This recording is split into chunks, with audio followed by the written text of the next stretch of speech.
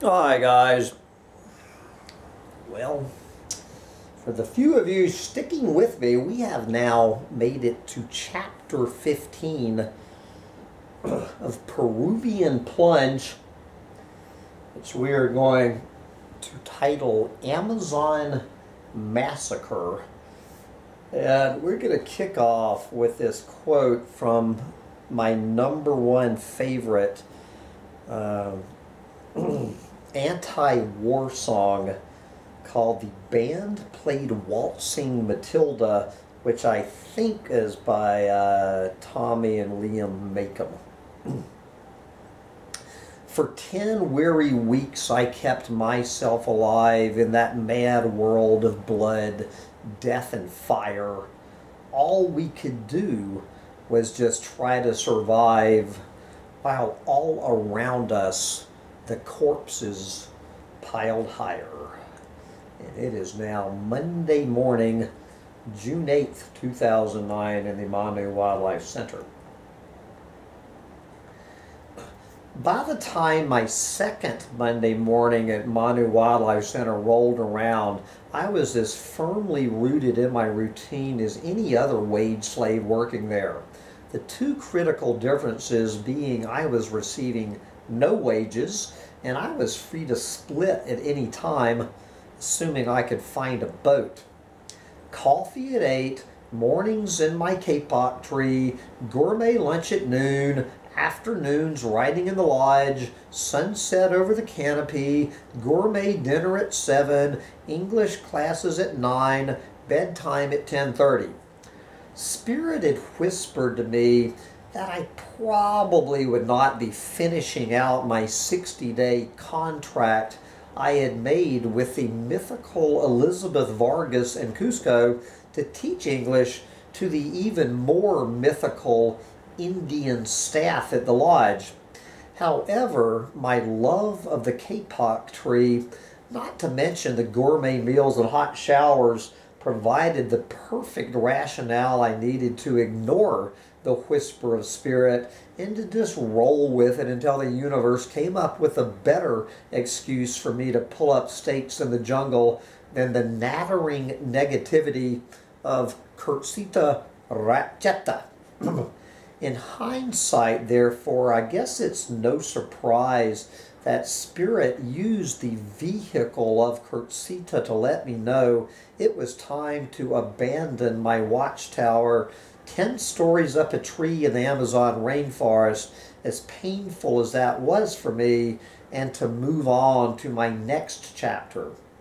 At lunch that Monday, Kurtzita paid Miranda and me a rare, unwelcome visit. This time she was not in a huff over some imagined crime yours truly had committed against her role as undisputed chief of the territory. This rage apparently was directed some 500 miles to the north, up near the Ecuador border at a town called Bagua, where three days earlier a band of crazy Indians had attacked and murdered some defenseless cops. Even with Miranda translating the garbled Spanglish, something just did not add up about Kurtzita's reports based on the Peruvian media's reports, also known as the Peruvian government's reports. About a bunch of spear-chucking savages taking out a bunch of defenseless soldiers.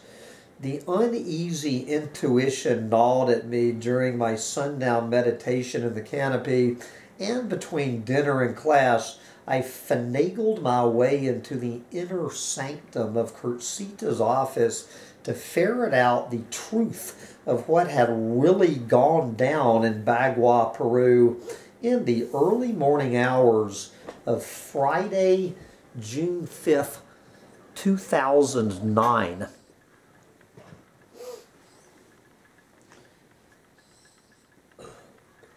Scratching the surface of my internet investigation into the meltdown at Bagua, I had to admit that Kurtzita's report initially did accurately describe at least the soldier's side of the story.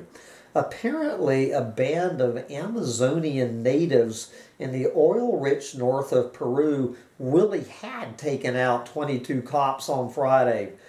Since nobody, not even the native community, was denying the allegations that at least some of these soldiers were speared to death, it could be safely assumed that these guys, at least, were unarmed. Peruvian President Alan Garcia, who had set this tragic series of events into motion on May 18th, when he had sent the soldiers to Bagua to quash the quote, national emergency caused by a bunch of pissed off but peaceful Indians who had been blocking a road, a river, and most importantly, an oil pipeline since April 26, was predictably reacting to this predictable series of events by ranting to the government friendly Peruvian press and anyone else who would listen to his squawking about those greedy savages hogging all those natural resources that did not belong to them just because they had lived there for 20,000 years. As I scratched a little deeper, I began to find buried down near the bottom of the various accounts reports of some 30 or so natives, depending on the source, who had also died in the crossfire. Aha, so the truth begins to emerge. I cast a wider net in my search and sniffed around to see what BBC, Survival International, Amazon Watch, and Democracy Now! had to say on the subject. Not surprisingly, as I continued to move from the right to left in my search, i.e., from mainstream to alternative media sources, an entirely different picture of this unprovoked attack by a band of spear chucking savages on the warpath against a few innocent, defenseless cops began to emerge. If you choose to believe, as I did and do, the lefties' view of what happened, this is what you would believe. At the first crack of dawn on Friday, June 5th, a bunch of soldiers, uh, including some in helicopters, opened fire on a peaceful group of protesters, many of whom were still asleep. First scattering them with tear gas and then mowing them down with live bullets as they ran for their lives into the hills. By the time the smoke and dust and tear gas had cleared, dozens, if not hundreds, according to some accounts, of men, women, and children lay dead and dying. Alberto Pizango, the leader of the Indian revolt, that led up to this national emergency had narrowly escaped with his own life and was holding up in the Nicaraguan embassy to save his ass. Rumors were pouring out of the hills that hundreds of people were still unaccounted for and that soldiers had been seen burning, burying, and dumping corpses in the river.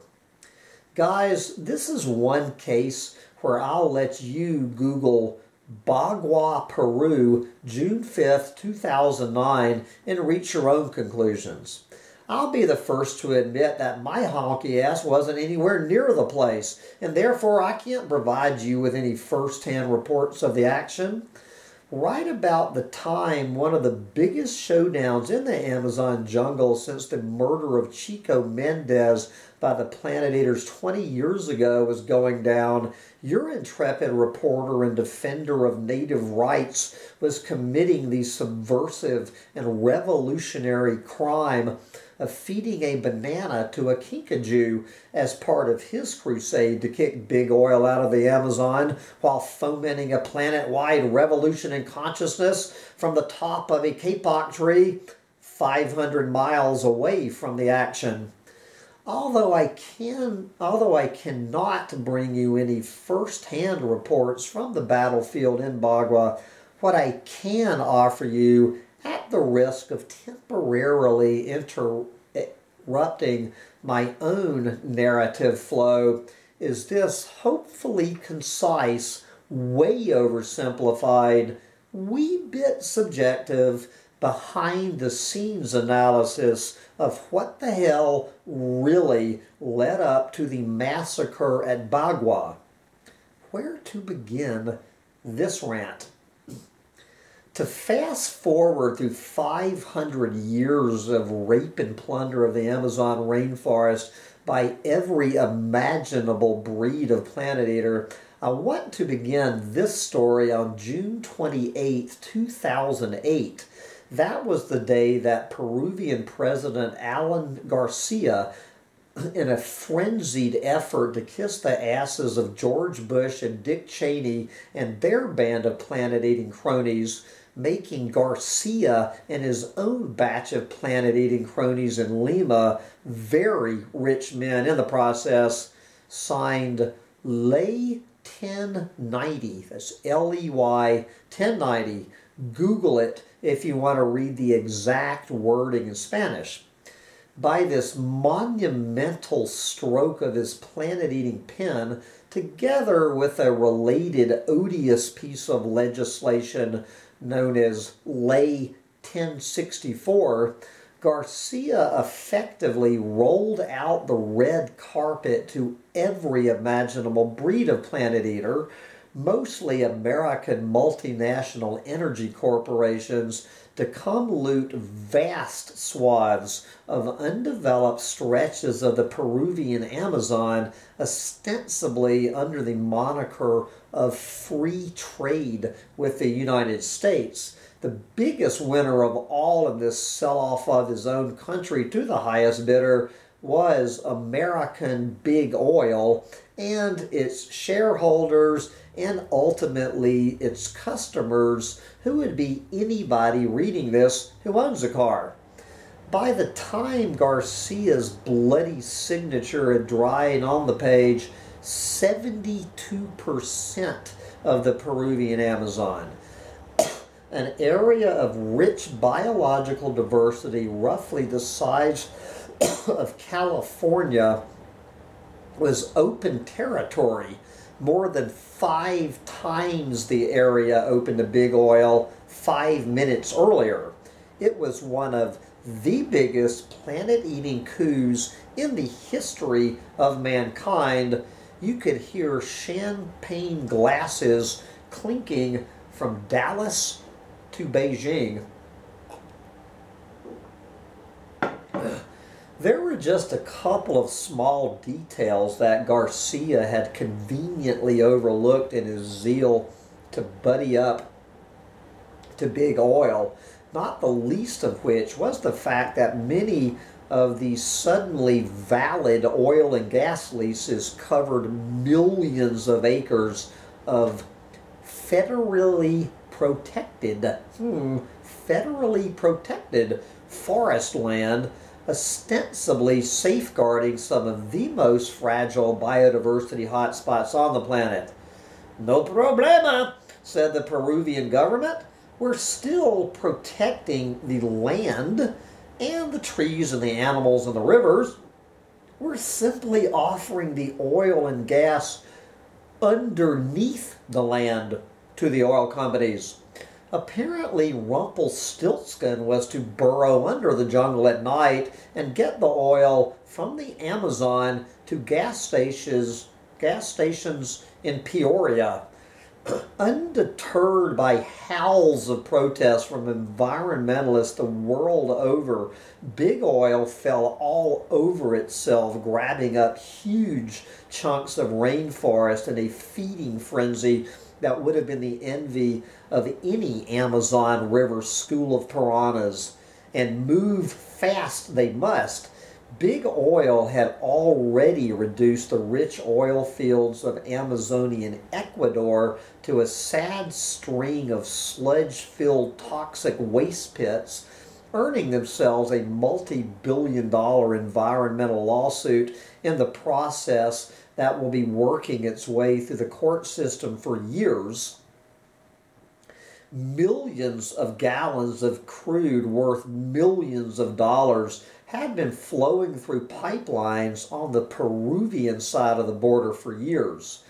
The planet eaters needed to get more pipelines from the Amazon to the Pacific Ocean up and running before the finite gravy train, like all gravy trains in the Amazon, ran dry and before those damn tree hugging bliss-ninny environmentalists got their shit together enough to hire some legal guns to shoot loopholes in this gargantuan Gaian giveaway.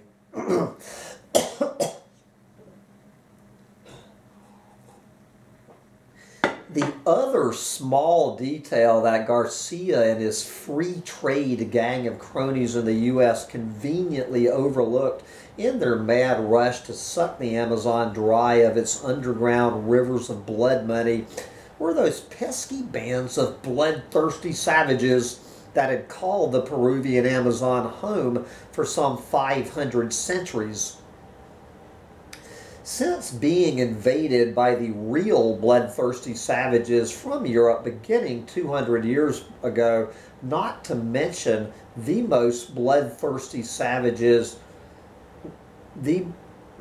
most bloodthirsty savages of the whole lot, the American backed rubber barons of barely a century ago, those pesky Indians had been at worst one more breed of mosquito to slap, and at best, a handy source of dirt cheap, if not slave, labor. One facet of 21st century Amazon native reality that both the planet eaters and the bleeding hearts, and I would include myself in that second camp of ignoramus, have both overlooked the fact that the overwhelming majority of modern day natives are neither spear chucking wild men nor noble savages. They are, by and large, educated, though poverty stricken, and intelligent fellow planetary citizens who are smart enough to know when they're getting fucked once again by the man. But this time around, they're mad as hell, and as Bagua proved, they're simply not going to eat the planet eater shit anymore. Smart guys. Perhaps the most remarkable aspect of the whole Bagua massacre mess was how well the foreign oil companies almost escaped the whole domestic Peruvian fracas with clean noses and no blood on their hands. What a coup d'etat of planet-eating PR genius that was. The whole story from all sides of the media spectrum was presented as Alan Garcia's Peruvian government versus the Amazon Indians. Obviously, references were made to Garcia's cozy relationship to Big Oil, but the staggering extent to which Garcia is owned by the Planet Eaters was simply either ignored or more likely not understood by the journalists covering the headline story in Bagua. If the reporters had taken the time and energy to, to dig about one inch under the surface to uncover the squirming morass of David Lynch bugs lurking there, the headlines would have read Big Oil massacres hundreds using bullet bullets from Puppet Garcia. You can bet your ass that at some point between May 18th and June 4th, that a very rich white man probably from Texas, told the president of Peru in no uncertain terms God damn it, Garcia, if you ever want to play hide the weenie with some high class hooker from Miami in your Lauderdale condo again, you'll figure out some way to get that oil flowing through that pipeline again. Do I make myself clear as Karo syrup?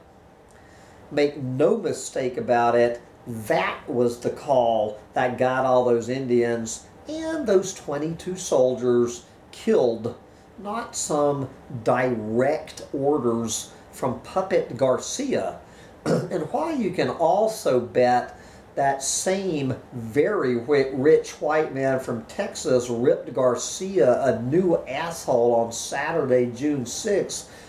for the some way he came up with to get the oil flowing again, the undisputable fact remains that the massacre accomplished its goal the pipeline and the road and the river have been open for business again ever since. Hopefully, the silver lining in this dark cloud of Peruvian history will be the light that the international press got to shine on big oil's dark game in the Amazon, at least until Michael Jackson died and the world turned its attention to much more pressing matters. Bowing to international pressure from human rights groups the world over, Garcia, after making sure the oil was flowing again to keep his boss happy, admitted that, quote, perhaps a few mistakes were made hmm, at Bagua as his, as his country teetered on the brink of silver war, of civil war. Garcia even rescinded the odious piece of legislation that started the whole process. For 90 days anyway, giving the planet eating PR flacks time to get their spin control spinning and more oil flowing. Garcia, meanwhile, is damned if he does or damned if he doesn't keep the keep the legislation intact at the end of the cooling off period Either way, lawsuits will be flying and heads will be rolling in the fallout. and here at this juncture, I will take perhaps my most foolhardy Peruvian plunge of all and give you the doom and gloomy Hambone view of what Amazon natives really think about big oil to understand how I arrived at my bliss-ninny bristling conclusion, you need to go back and carefully reread all those supports from the massacre at Bagua, particularly well-documented statements made by protest leaders such as Alberto Pizango. If you do, you will notice that the protesters in Bagua and other natives all over the rest of the Peruvian Amazon are saying no matter how much the dirt worshiping, tree hugging environmentalists in the U.S. with their noble savage fantasies of uncontacted tribes don't want to hear this. That by and large, modern day Amazon Indians are not categorically opposed to all oil and gas drilling or logging or mining or ranching on their ancestral lands. Go back and reread that sentence as many times as you need to in order to erase your noble savage fantasy because that is just what it is a fucking fantasy. By and large, what modern day Amazon natives are opposed to, and rightfully so, is a bunch of fucking foreign planet eaters in cahoots with their cronies in Lima, storming into the natives' ancestral forest homes yet again to do whatever they please without consulting or more importantly without financially rewarding the folks who have lived there for 20,000 years. It's just not the right thing to do. To be blunt but honest about it, what the natives are demanding, and rightfully so, after getting pushed out of the way and fucked over by the planet eaters for 500 years, is their rightful piece of the planet eating pie. What a concept! Those guys actually want to get paid, and they're not talking about some lousy beads and fishhooks. They're talking about some good old American greenbacks. What gall, those greedy bastards!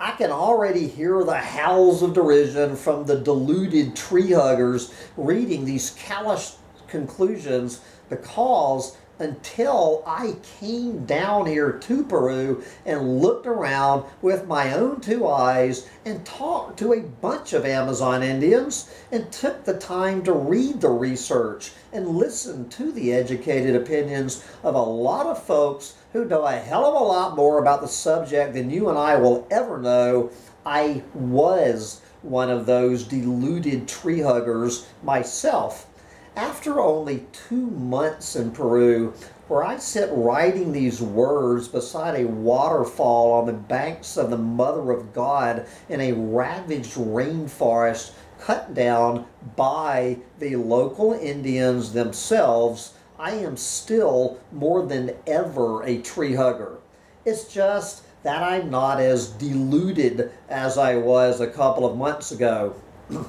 One area of brief anthropological research I delved into, particularly the book of Mixed Blood by Peter Gow, that helped relieve me of my noble savage fantasy burden was a study of the rubber boom, particularly how that half century of hellfire and brimstone, which burned out by 1920 rained down on Amazon natives and shaped their attitudes. Volumes have been written about that genocide with American blood money at its source. So here I'll just illuminate this one aspect most germane to my thesis.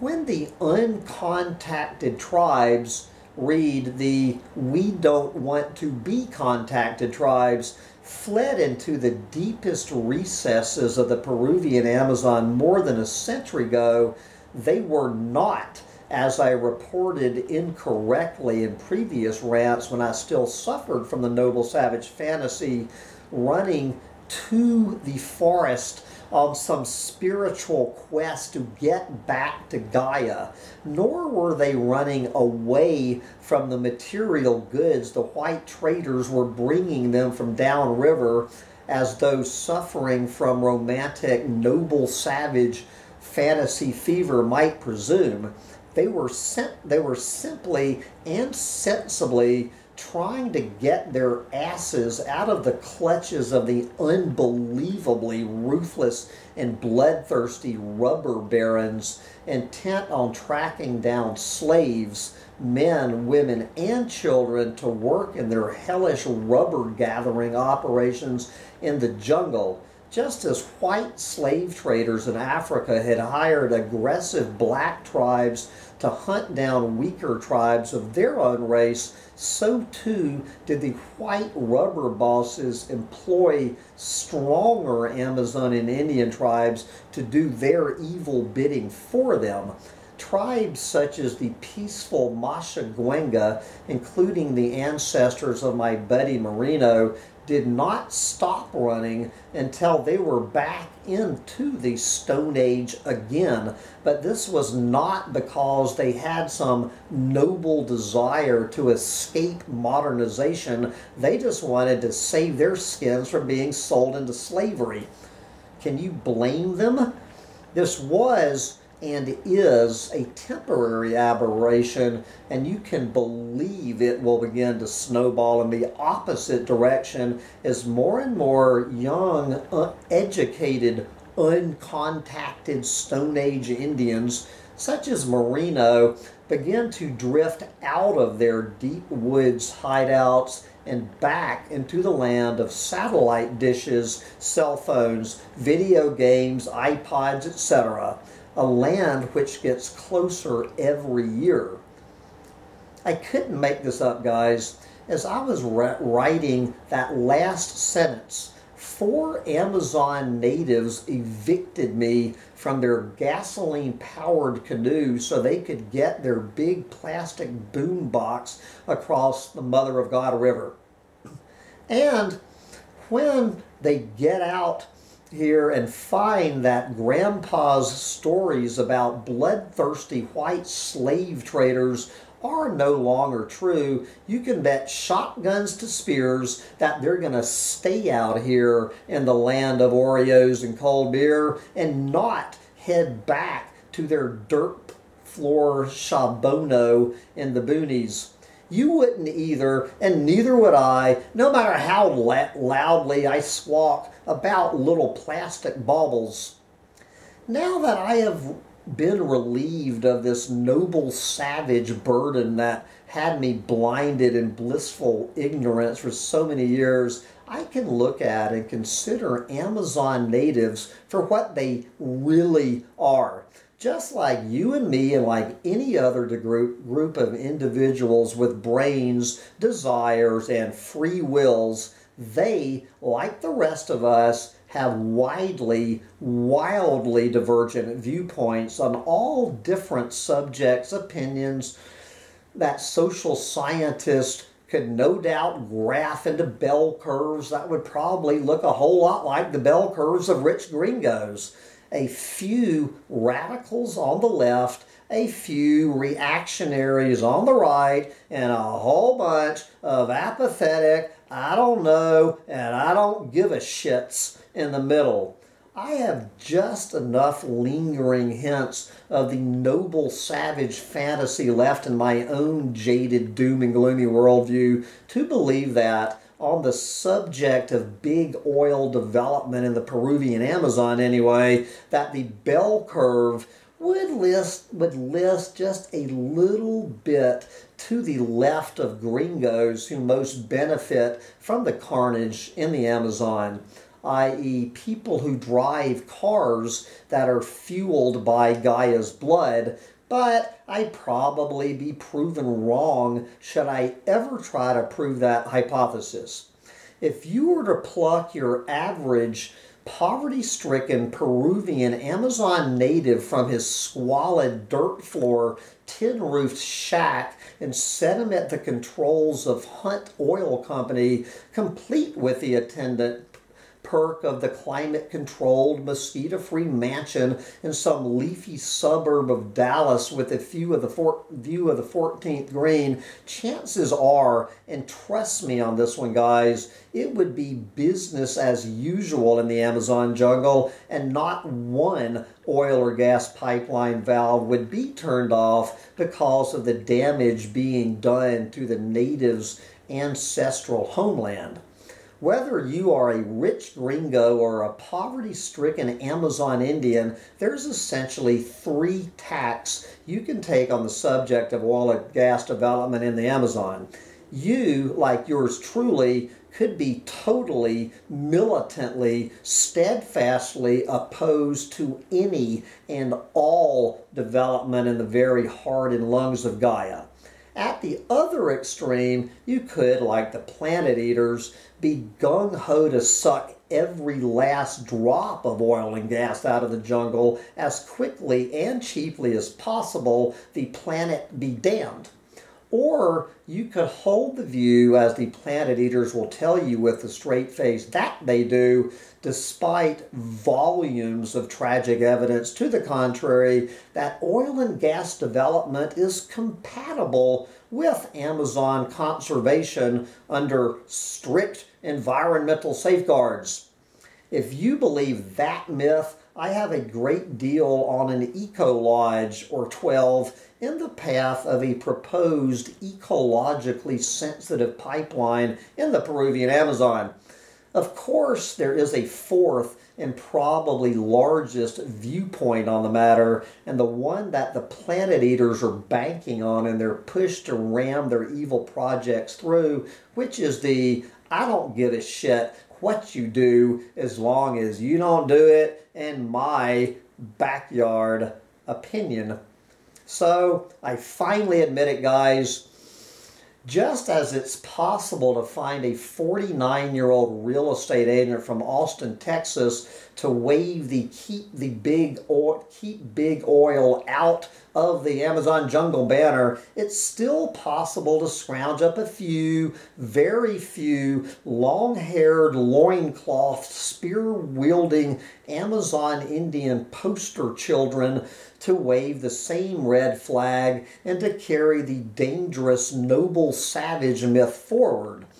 i.e., the famous fake uncontacted tribe photo of a bunch of Indians in war paint supposedly shooting arrows at a helicopter, which was circulated widely last year until the embarrassed photographer came forward and admitted he faked the photo because he could not find any real uncontacted tribes to photograph. However, as I'm learning the hard way, hardline environmentalists are suffering from a serious and dangerous delusion if they automatically jump to the perfectly logical and understandable conclusion that the very people who stand to lose the most from oil and gas development in the Amazon will be jumping on the bandwagon with them. Believe me, big oil can afford to buy, and they have bought plenty of poster children of their own to advance their own evil agenda. For this reason, I have reluctantly elected, more like capitulated, to divorce myself from the dead end pursuit of a non existent, noble savage bandwagon of almost non existent support from the brainwashed Amazon native community. I leave that thankless task to others and I wish them well. From here on out, as from day one, my call for a planet wide revolution in consciousness comes directly from the heart of Gaia and the voice of Spirit. And Gaia and I invite everyone, red, white, yellow, brown, black, purple, or green to join us in this absurd revolution of awakening souls as I have literally nothing better to do with my life. I will have plenty more to say about Amazon natives as this improbable tale unfolds, but for now, let me return to my story and say end of this rant. And that wraps up chapter 15, where we head to chapter 16 Goodbye to Manu Wildlife Center. Coming right up.